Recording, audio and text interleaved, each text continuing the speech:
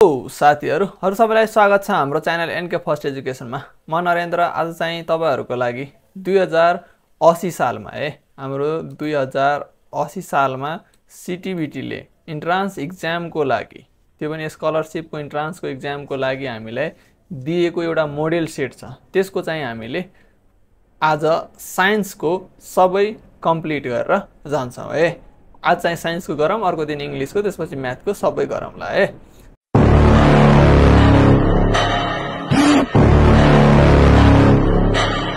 अब ट्वेन्टी वानबाट हाम्रो के छ? साइन्स स्टार्ट छ। है यहाँ हेर्नुहोस्। Which part of the earth the weight of the body is minimum पृथ्वीको कुन भागमा वस्तुको वजन सबभन्दा कम हुन्छ? यो कुरा सबैलाई थाहा भएको कुरा हो।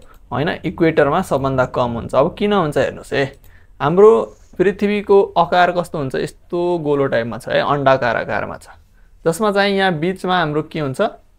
यो बिचमा हाम्रो पोल हुन्छ है यो बिचमा हाम्रो के हुन्छ?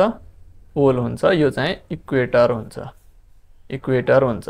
भनेपछि हामीले के बुझ्यो? इक्वेटरको यो भाग के छ? इक्वेटरको यो भाग के छ? हाम्रो यो पोलभन्दा ठुलो छ। भनेपछि लेन्थ बढेपछि हाम्रो के हुन्छ भनेपछि हाम्रो एस्कुलेसन घट्न जान्छ है एस्कुलेसन घट्ने बित्तिकै हाम्रो के भयो त्यहाँ? मिनिमम वेट हाम्रो कम हुन गयो। भनेपछि हाम्रो के हुन्छ यो? ए नम्बरको एन्सर ठिक हुन्छ इक्वेटरमा अब चाहिँ हामी कहाँ जान्छौँ भने चाहिँ यो ट्वेन्टी टूमा हेर्नुहोस् है। के छ? के छ? Which formula is use measure the gravitational field intensity है ग्राभिटेसनल फिल्ड इन्टेन्सिटीको हाम्रो के भन्छ? फर्मुला लेख्न पर्ने छ तपाईँले यसमा के ख्याल राख्नु पऱ्यो भने चाहिँ हामीले ग्राभिटेसनल फिल्ड इन्टेन्सिटी अनि चाहिँ हाम्रो के छ?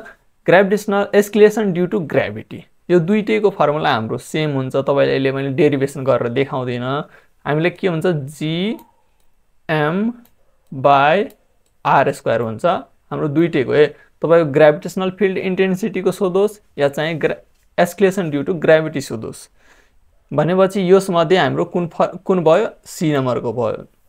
अनि यो चाहिँ तपाईँको के भयो? ग्राभिटेसनल फोर्सको फर्मुला यो चाहिँ हाम्रो बी नम्बरको भयो। ग्राभिटेसनल फोर्स भनेको एफ बराबर के हुन्छ? जिएम बाई आर स्क्वायर हुन्छ। यो त सिम्पल नै भइहाल्यो। अब चाहिँ यहाँ हेर्नुहोस्। ट्वेन्टी थ्रीमा के छ? Which is the unit of pressure चापको एकाइ के हामीले पास्कल हेर्छौँ टिक लगाउँछौँ अगाडि बढ्छौँ। त्यो त यहाँ हुँदैन है। किनभने यहाँ हेर्नुहोस् के छ? न्युटन पर मिटर स्क्वायर पनि हो पास्कल पनि हो। भनेपछि हाम्रो के हुन्छ? बोथ ए एन्ड बीको हाम्रो एन्सर हुन जान्छ। यहाँ के भन्छ? अ सिप हाम्रो के भने a ship is weight five into ten to the पावरमा five छ है। यहाँ चाहिँ तल लेखेको छ एक सय पाँच तर पावरमा फाइभ होला। Five newton which must be the weight of the water displace by the ship to float on it एउटा एउटा पानी जहाजको तौल यति छ भने यहाँ हेर्नुहोस् पावरमा हालेछ five into ten to the five ten to दिको पावरमा फाइभ न्युटन छ भने उक्त जहाजको पानीमा उत्रिँदा कति पानी विस्थापित गर्छ? हामीले लो अफ फ्लोटेसनभित्र या जो सरकारी पढ्यो होला त्यसले प्लवनको नियमभित्र के पढेको छ भने जति कुनै पनि अब्जेक्टलाई पानीमा उतार्यो भने त्यो पा अब्जेक्ट तैरिरहेछ भने त्यो आफ्नो वेट बराबरको पानी विस्थापित गर्छ भन्ने कुरा हामीले पढेको थियो। भने चाहिँ हाम्रो जति वेट भयो त्यसले वस्तुलाई पानीमा तैर्नको लागि त्यति सेम वेट चाहियो। भनेपछि जहाँ जहाँ हाम्रो के छ फाइभ फाइभ न्युटनको हाम्रो वेट छ भनेपछि फाइभ केजी छ भने हामीलाई के चाहिन्छ? फाइभ केजीको बराबरको पानी हाम्रो विस्थापित हुनु पऱ्यो त्यही भएर हाम्रो कति छ? सेम यहाँ एन्सर कति जति छ नि? क्वेसनमा त्यति नै हाम्रो एन्सर हुन्छ। Five into ten to the power five newton जुन चाहिँ हाम्रो ए नम्बरमै छ। ए नम्बरमा हामीले टिक लगाउँछौँ अनि चाहिँ अगाडि बढ्छौँ है अब चाहिँ हाम्रो के छ? Which of the following element use यसलाई चाहिँ यस्तो गरेर जाउँ है which of the following element use in nucleus fusion nucleus फ्युजनको लागि यो चाहिँ याद गर्नुपर्ने कुरा हो। तपाईँले सिधै हाइड्रोजन याद गरेर जानु यो चाहिँ हामीले सिटिबिटी इन्ट्रान्स प्रिपेरेसन गर्दाखेरि क्लासेसहरू गऱ्यो त्यहाँ धेरैचोटि पढिसक्यो अनि चाहिँ मोडल क्लास गर्दा पनि धेरैचोटि हामीले पढिसक्यो। जस्तै हिट इनर्जी हिट इनर्जीको युनिट के हुन्छ जुल हुन्छ यो कुरा त थाहा राख्नुपर्ने कुरा हो थाहा भएकै कुरा हो। त्यसपछि अब चाहिँ तपाईँले कहाँ जानुहोस् भने चाहिँ यो twenty seven which is the boiling point of alcohol है which of the boiling point of alcohol हेर्दाखेरि यो सेभेन्टी एट डिग्री सेल्सियस हुन्छ यो चाहिँ याद राख्नै पर्ने कुरा हो। त्यसपछि के छ which is the electronic configuration of atom oxygen एटमको electronic configuration राख्नुपर्ने छ हाम्रो अक्सिजन चाहिँ कति नम्बरमा पर्छ? एट नम्बरमा पर्छ। मैले तपाईँलाई इन्ट्रान्स गराउँदाखेरि यो चाहिँ इलेक्ट्रिकल के अरे इलेक्ट्रोनिक कन्फिग्रेसनको डिटेल भिडियो बनाइदिएको छ जसमा चाहिँ एकदेखि तिससम्मका हाम्रो कन्फिग्रेसन गरेर देखाइएको छ।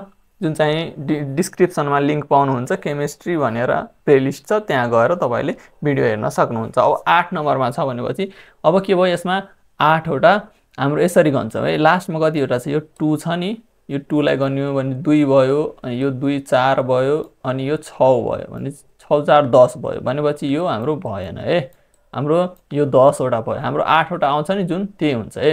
भनेपछि यसमा दुईवटा इलेक्ट्रोन छ यसमा दुईवटा छ यसमा चारवटा छ। दुई दुई चार चार आठ भनेपछि यो एन्सर हाम्रो करेक्ट हुन गयो।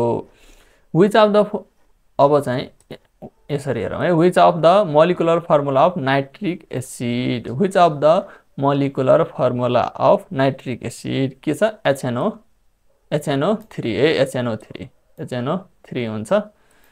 एचएनओ थ्री हुन्छ नाइट्रिक एसिडको त्यसपछि what is the pH value of water है what is the pH value of water कति हुन्छ? यो चाहिँ एकदम सिम्पल सेभेन हुन्छ।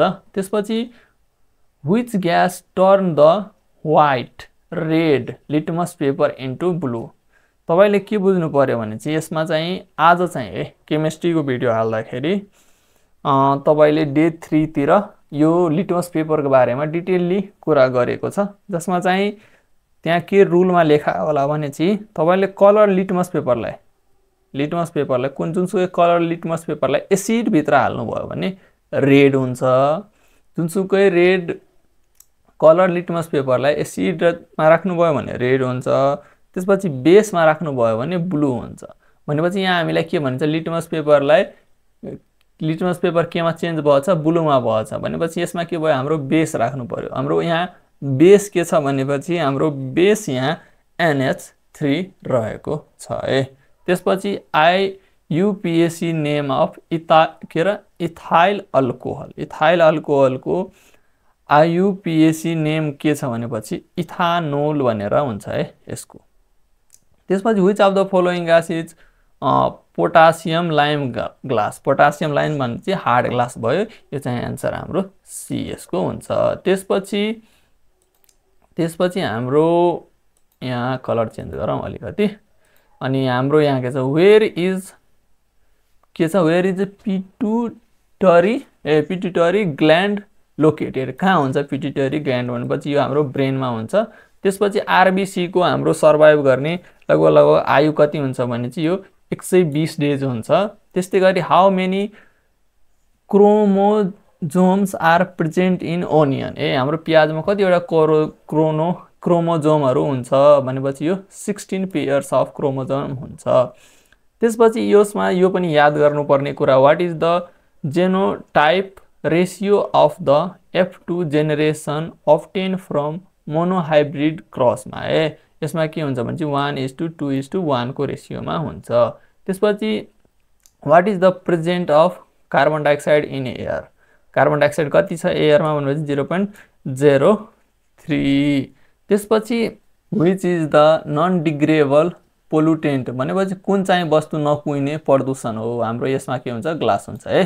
How many type of galaxy are classified ग्ल्याक्सीलाई कति भागमा के छ? यहाँ हेर्नुहोस् है नेपालीमा तारापुञ्जहरूलाई कति समूहमा वर्गीकरण गरिएको छ भनेपछि यसको एन्सर थ्री हुन्छ।